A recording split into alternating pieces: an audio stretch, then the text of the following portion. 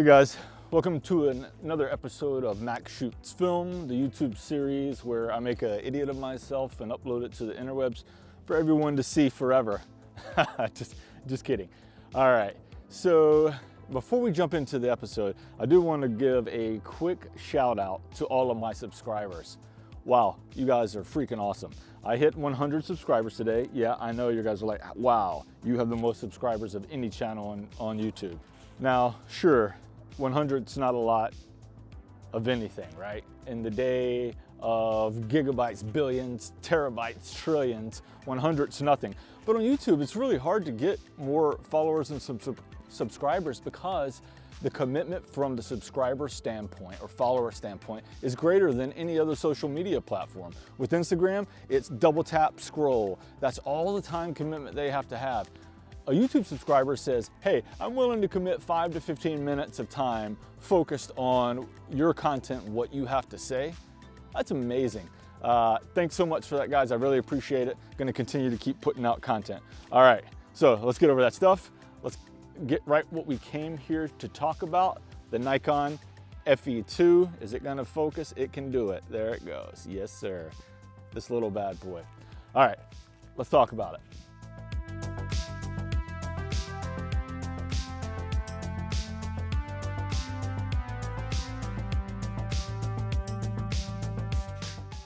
All right, so before I go into why I think this is the best ever Nikon film SLR, I want to say it's the best film ever Nikon SLR for me. You know, you can't make a bold claim like something's the best ever, probably because it doesn't suit everyone's needs, what they're looking for. Uh, so for me personally, this puts a check in every box uh, that I need in a film SLR, and it helps me do my job or the job that I'm setting out to do with a film camera. So with that preface, let's just get right into it.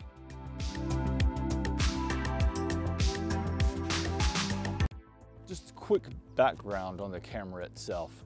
The camera was released in 1982. The 80s were, you know, the arms race for film SLR makers. Nikon, or if you're in the rest of the world, Nikon, uh, Canon, Minolta, Pentax, Olympus. These guys were throwing out amazing cameras back then and putting all the tech that they had available to them in cameras. And the Nikon FE2 is uh, no slouch and no exception to that rule as well, jam-packed with features. So let's just jump right into it. Let's work our way across the top of the camera and then around the front. All right, so let's just take a quick look across the top of the camera. First of all, let's talk about the film advance lever. This guy here turns the camera on. When it is in the lower position like that, the camera will not fire. So if you have it in your bag, you don't have to worry about you know, cracking off one of the frames inadvertently. Pop that guy out, ready to rock.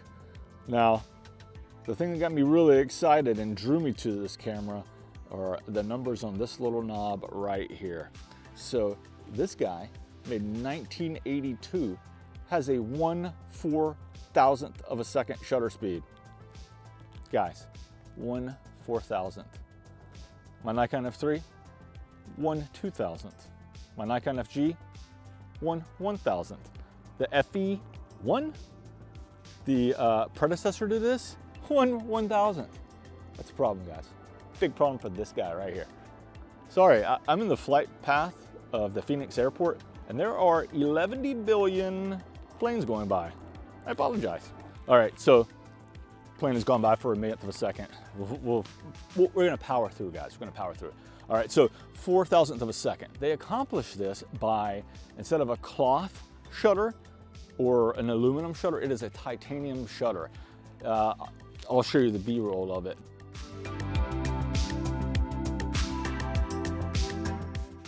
But they carved honeycomb patterns in it, I assume to lighten it. Now, this shutter, titanium, travels at like three milliseconds or something like that. So think of the technology they had to employ to get that piece of titanium moving so fast without just flying apart, right? It's, it's freaking amazing. Um, also, they implemented dampening into this to the point where shutter lockup is not required. There's no shutter slap that shutter is properly dampened, you don't need to worry about it, even at one four thousandth of a second. That's awesome. So let me also talk to you why one four thousandth of a second was probably the main selling point for this camera.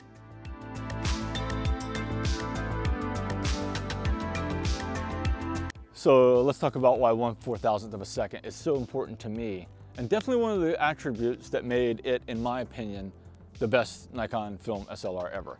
So I shoot 400 speed film, right? So my, I can't change my ISO, it's not digital. I'm at 400, which is kind of fast, right? Especially in bright light. Two, whatever your shutter speed is on your camera, that's as fast as that thing's gonna go. You can't make it go faster. So if I'm already running at 400, 400 ISO, 400 speed film, and let's say I was using the Nikon F3, my shutter speed maxed out at 2000th of a second. If I want to shoot wide open, I shoot portraits mainly, guys. So my camera needs to be able to shoot wide open in daylight with 400 speed film. That means I need a way faster shutter. So with the Nikon F3, I was constantly having to put an ND filter in front of the glass, a negative three ND filter. And basically what that does is, it is like sunglasses for your lens. It artificially darkens the scene, enabling you to shoot wide open, right? Um, but that's, that's a hassle and a chore. I gotta remember to take it. And then it's really difficult to see manual focus through a darkened lens. It made fo nailing focus really difficult. So not only was I having to carry more equipment, I was making it even more challenging to manually focus by shooting a camera that had a max shutter speed of one two thousandth of a second. You know, it's the uh, exposure triangle, right? ISO, shutter speed, and um, aperture. And all, if the two of those are fixed, really all you can is control is aperture. And I was having to stop way down. Even with the negative three ND filter, sometimes I was stopping down to like four or 5.6. And uh, you know, I'm not interested in photographing a model or a portrait outside and having all of the trees and street garbage in focus. I want you to focus only on that uh, subject, the model, and everything else just to be creamy, blurry bokeh, right? Or bokeh if you're in another country. That's another thing that bothers me. Uh, I'm an American, I say things like an American. Nikon, not Nikon. Bokeh, not bokeh, right? Um, anyway, moving on. So four thousandth of a sh second shutter speed for me is, is absolutely critical. And I think even if you don't shoot portraits, having more is important, right? You, you, should definitely look at what shutter speed that camera has to give yourself more creative options. You may say, oh, I don't care about bokeh, I don't care about blurred backgrounds. One day you might, and if you, if you have limited funds and you're investing in one kit, invest in a kit that's gonna have the bookends of possibilities as far apart as possible, right? Don't buy a camera with the bookends of possibilities here. Have it out here. Use this over here when you grow into your camera. So a lot of people in the film community seem to overemphasize the importance of not having batteries in a film camera body. Guys, the solution's simple. Carry batteries and keep them like in your pocket to keep them warm if you're in a cold environment. Um, pro photographers using digital, if batteries were really an issue, there would be no pro, pro photographers shooting digital, right? Their cameras run on batteries. They carry more batteries? I mean, I, I do not get this insistence on your film camera not requiring batteries. It's ludicrous. It's 2018. I get it. We want the nostalgia and the retro traits of a film SLR, but we live in 2018. Uh, things are mass produced. You can buy batteries cheap. I bought a uh, 20 pack of LR44 batteries for like $7. You know what? And I, I have a few in every one of my camera bags. Problem solved, problem staying solved, guys. Move on. But if it does come down to it and the battery dies, you can shoot at 250th of a second.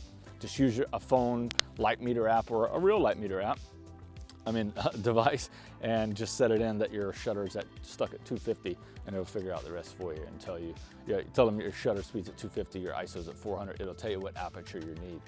Hopefully you have a fast enough lens. Going back across the top, it has TTL uh, flash metering.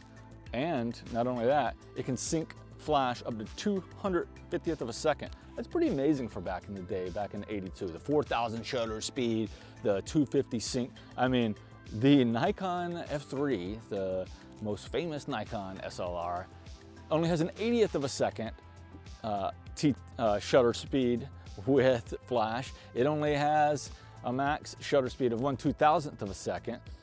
When the battery dies, it can only shoot mechanically a 60th of a second. Strike, strike, strike three for the F3.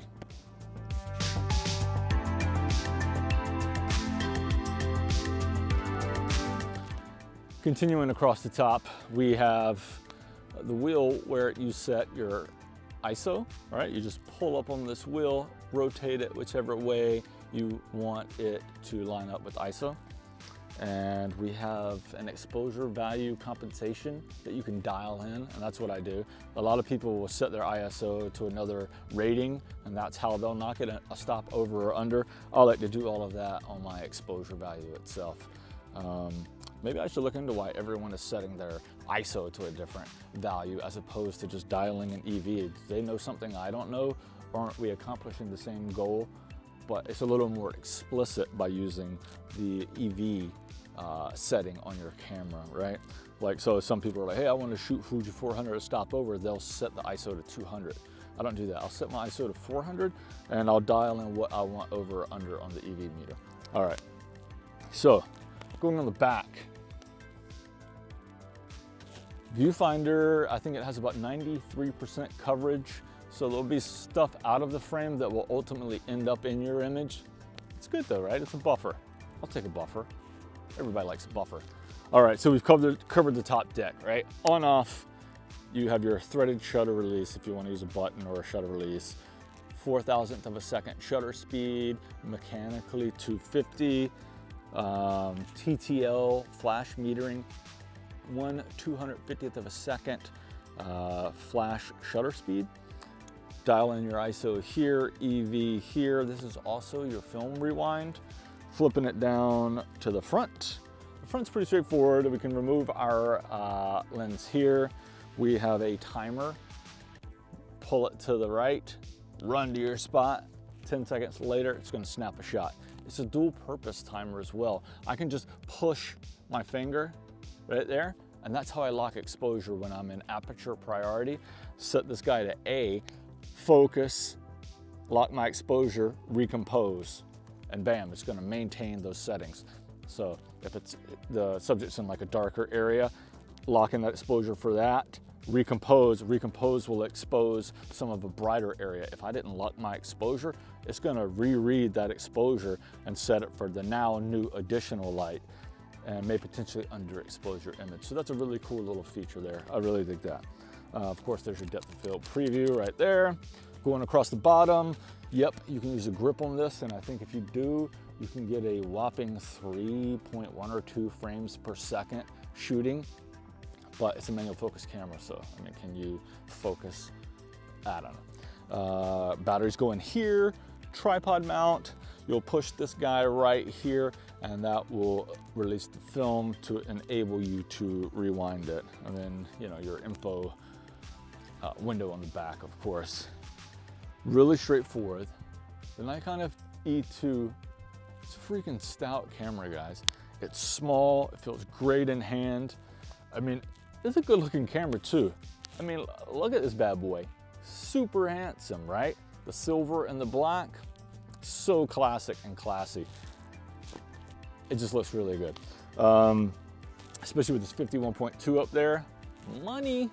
Um, yeah, a great camera, guys. But like I said, it's a great camera for me. Buy what works for you guys. The camera needs to meet your needs, but do not buy a camera with bookends of functionality that far apart. Give yourself some room. You're gonna grow into your camera, and instead of having to buy a new camera, you can use the one you have that you've already become comfortable with. There are a million planes flying by today. It's ridiculous. So do your research. But before you do your research, just bullet point out what you want in the camera and, and you know have that here, your search here, and constantly refer back and forth. Let looks and popularity be the last thing on your list that you care about. It's gotta meet your needs from a photography standpoint. to enable you to be as creative as you can be when you're out in the field. It's better to uh, have it and not need it than need it and not have it, right? So that's it guys. I'm not gonna belabor this point. Really amazing camera, quite possibly the best ever Nikon SLR. Like the FM3A is uh, much more money than the FE2. And really, one of the only advantages is it has a 4 thousandth of a second shutter speed as well, but it can fire that mechanically without a battery. So for all you um, one percenters that live in the Arctic and you're still shooting film and you're like, it's too cold, my battery's gonna go dead, my camera won't work. Well, for you guys, FM3A might work, but for the other 99% of the population, the FE2 is, is the peak. Fast shutter speed, fast flash sync speed, aperture priority, small, robust, I mean, I could throw this thing into this body of water right behind me, and I think it would be okay when I dug it out. Battery life's awesome. I've been shooting it for three months, probably shot 25 rolls through it. No, bat no battery replacement yet. My Nikon F3, I'm replacing batteries in it monthly. It's crazy, I don't know what's going on there. Um, so definitely give this guy a, uh, a look, and we'll see you next video. See ya!